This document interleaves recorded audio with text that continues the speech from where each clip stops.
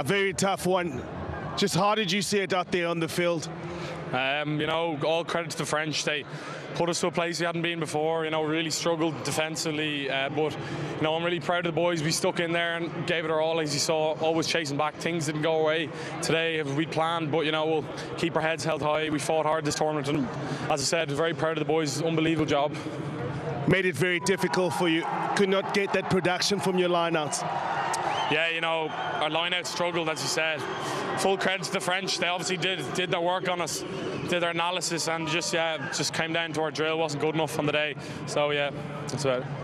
You've been challenged a lot in this tournament, but the side stuck together. Yeah, you know, it couldn't be, as I said, like couldn't have get a better group of lads. You know, we stuck together no matter what, and we're st- still stick together now. You know, we would have liked a better performance today, but unfortunately, just things didn't work out. Congratulations on the game. Commiseration for the loss. Thanks.